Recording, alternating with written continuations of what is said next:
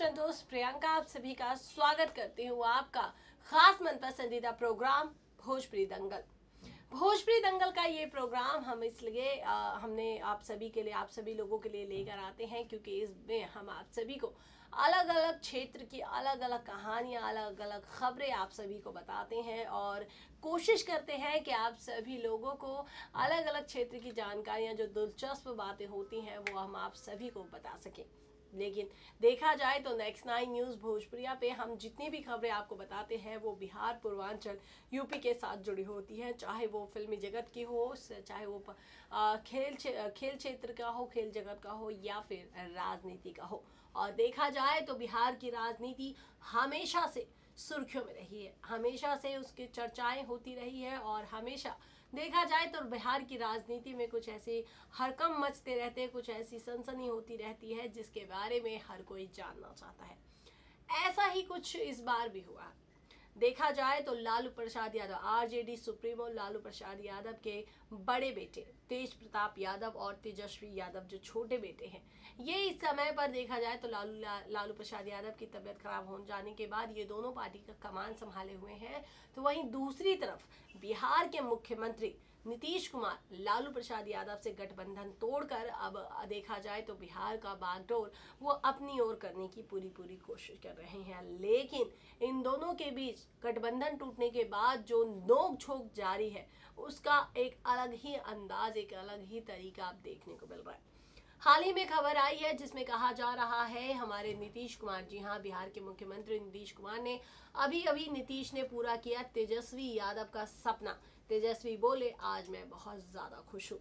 देखा जाए तो इन दोनों को वैसे ही पक, वैसे तो पक्ष विपक्ष में है, लेकिन समय आने पर ये सरकार भी बनाते हैं, समय आने पर ये अलग भी हो जाते हैं। तो वहीं देखिए, एक ये भी खबर हैरान करने वाली है कि आज तेजस्वी, जो कि अभी इन दोनों के बीच नो- नोक झोंक की खबरें जो चल रही थी आखिरकार, इन्होंने नीतीश कुमार ने तेजस तेजस्वी का सपना क्यों पूरा किया? और आखिरकार वो सपना है क्या? बिल्कुल आप लोग जानने के लिए बेताब होंगे। तो चलिए आपके, आज की शुरुआत करते हैं और आपको दिखाते हैं अपनी ये खास रिपोर्ट।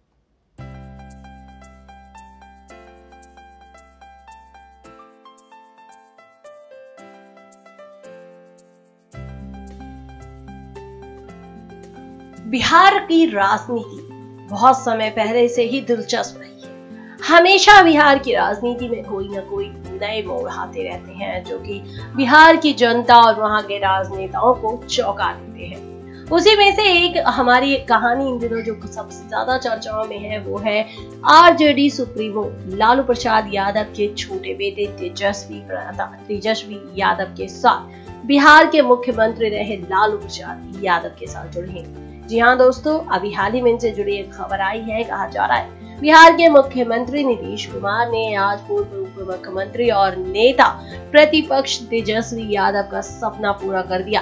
दरअसल में आज मुख्यमंत्री नीतीश कुमार ने बिहार का पहला और देश का सबसे लंबा डबल डेकर फ्लाईओवर का छपरा में शिलान्यास किया। जी हाँ आपको बता दें, शिलान्यास से ठीक पहले तेजस्वी यादव ने ट्वीट किया। मुझे बहुत खुशी है। मेरे पिता की कर्म भूमि छपरा में जिस डबल डेकर फ्लाईओवर का सपना हमने पथ निर्माण मंत्री रहते हुए देखा था, एक केंद्रीय मंत्री नितिन गडकरी जी ने मिलकर उसके विशेष सहयोग और सीआरएएफ मद से देश के पहले डबल टेकर पुल की रूपरेखा तैयार की। आज उसका शिलान्यास होने जा रहा है। तेजस्वी यादव ने अपने ट्वीट के माध्यम से जनता को बता, बताने की कोशिश की। कि उनकी मेहनत की असर है कि छपरा में डबल डेकर फ्लाईओवर का नीतीश कुमार ने शिलान्यास किया है। साथ ही उन्होंने ट्विटर में लिखा, मुझे खुशी है कि मेरे पिता की कर्मभूमि छपरा में जिस डबल डेकर फ्लाईओवर का सपना हमने देखा था, वो अब पूरा हो चुका है। आपको बता दें कि छपरा के गांधी चौक से नगर पालिका चौक के बीच ये डबल डेकर फ्लाईओवर बनेगा। बिहार राज्य पुल निर्माण निगम के देश रेखा में ये फ्लाईओवर चार साल पूरा हो जाएगा। 2022 में इस पर गाड़ियाँ दौड़ने लगेगी। इसके साथ ही ये देश का पहला सबसे लंबा डबल टेकर फ्लाईओवर होगा। वर्तमान में देश का सबसे लंबा डबल टेकर फ्लाईओवर मुंबई में है। ये 1.8 किलोमीटर लंबा है। मगर छपरा में बन रहा डबल टेकर फ्लाईओवर 3.5 किलोमीटर लंबा होगा। वहीं उसकी चौड़ाई 5.5 मीटर की होगी। इसी के साथ देखा जाए तो कहना है कि छपरा में बन रहे डबल टेकर फ्लाईओवर के निर्माण में 411 करोड़ रुपए खर्च होंगे। डबल टेकर फ्लाईओवर के सबसे ऊपर के हिस्से पर चढ़ने के लिए रैप भिखारी ठाकुर चौक से गांधी मैदान की ओर होगा। इस पर एबीएस स्कूल के समीप से चढ़ा जा सकेगा। इससे गांधी चौक और नगर पालिका चौक होते हुए बस स्टैंड तक जाएगा, जिससे सिवान की ओर से आने वाले वाहन भिखारी ठाकुर चौक होते हुए आगरा, हाजीपुर और पटना जाने के लिए निकल जाएँगे। वैसे दोस्तों, कुल मिलाकर देखा जाए तो भले ही हमारे बिहार के मुख्यमंत्री नीतीश कुमार के साथ साथ हमारे पूर्व मंत्री रहे।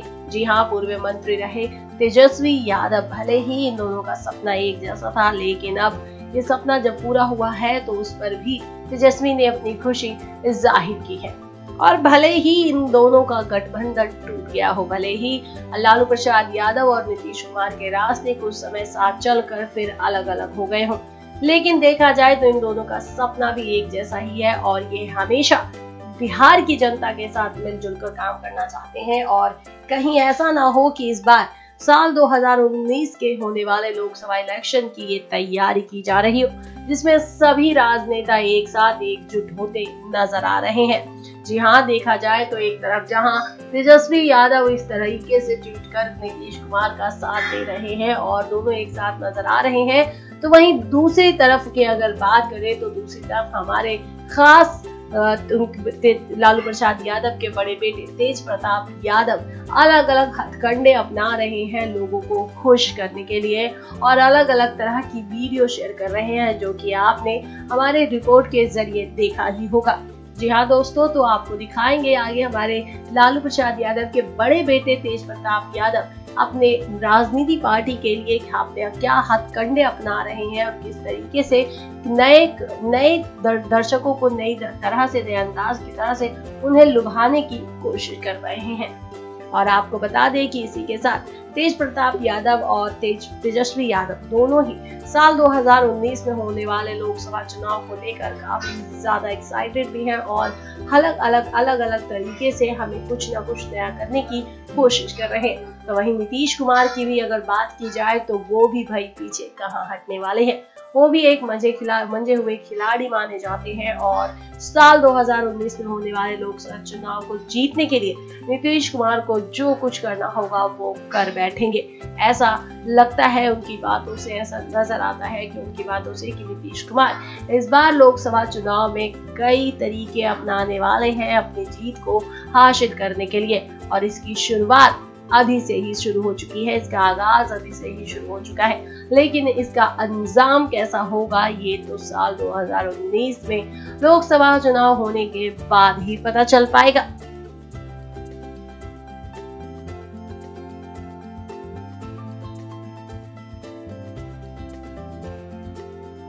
तो देखा आपने दोस्तों कि आखिरकार हमारे बिहार के मुख्यमंत्री नीतीश कुमार और दूसरी तरफ़ आरजेडी के इस समय पर बागडोर संभाले तेजस्वी यादव। इन दोनों एक दूसरे के साथ देखा जाए तो कहीं ना कहीं इनका साथ हमेशा से रहा है।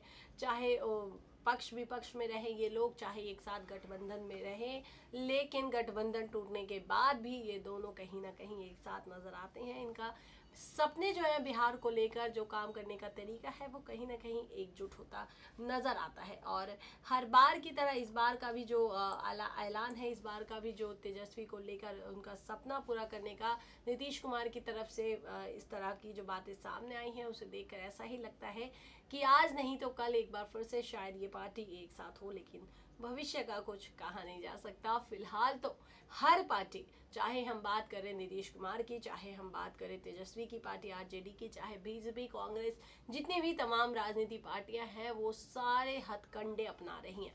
और इसका कारण है, इसकी वजह है साल 2019 में होने वाले लोकसभा चुनाव, जिसमें हर पार्टी अपने आप को आगे ले जाने की पूरी पूरी कोशिश कर रहा है। जी हाँ इसी इसी वजह से अभी हाल ही में आ, कल और परसों तेज तेज प्रताप यादव जो कि लालू प्रसाद यादव के बड़े बेटे हैं उनका एक वीडियो वायरल हुआ जिस वीडियो में तेज प्रताप तेज प्रताप यादव कहीं गाड़ी कहीं अपने जनता के बीच नहाते नज़र आ रहे हैं तो कहीं जनता के बीच आम तरह के लोगों के जीवन को तरह जीते हुए नज़र आ रहे हैं और कहीं ना कहीं देखा जाए तो इन उनका ये आ, उनकी तरफ़ से ये कोशिश की जा रही है कि लोकसभा चुनाव आते आते वो जनता की नज़रों में एक राजनेता ही सही और लेकिन एक हीरो की तरह उभरे। लेकिन देखते हैं दोस्तों आगे दस साल 2019 तक में कौन से ऐसे नेता हैं जो अभिनेता बन पाते हैं जनता की नज़रों में तो कौन से अभिने कौन से ऐसे नेता हैं जो सिर्फ़ हीरो से ज़ीरो बनकर रह जाते हैं। ये देखना काफ़ी दिलचस्प होगा, लेकिन फ़िलहाल आज के हमारे भोजपुरी दंगल के प्रोग्राम में इतना ही। उम्मीद करते हैं आप सभी लोगों को प्रोग्राम अच्छा लगा होगा। अगर जो आप सभी को नीतीश कुमार और तेज प्रताप के साथ साथ तेजस्वी यादव की ये बातें और उनकी ये खबरें आप सभी को अच्छी लगी है, इनकी ये नोक झोंक अच्छी लगी तो हमारे प्रोग्राम में कमेंट बॉक्स में लिखकर ज़रूर बताइए और साथ ही साथ आपको अगर जो कोई बात जाननी हो, कोई खबर जाननी हो, वो भी पूछ सकते हैं। भोजपुरी इंडस्ट्री के साथ जुड़े रहने के लिए channel next nine news Bhojpuriya को अभी सब्सक्राइब कीजिए बेल आइकन का बटन दबाइए और मुझे दीजिए इजाज़त। कल मैं आपके सामने फिर से लेकर हाजिर होंगी आपका खास मनपसंदा प्रोग्राम भोजपुरी दंगल। तब तक के लिए नमस्कार। अगर आप भी बनना चाहते हैं एंकर और रिपोर्टर वीडियो एडिटर कैमरामैन या फिर स्क्रिप्ट राइटर तो हमें संपर्क करें।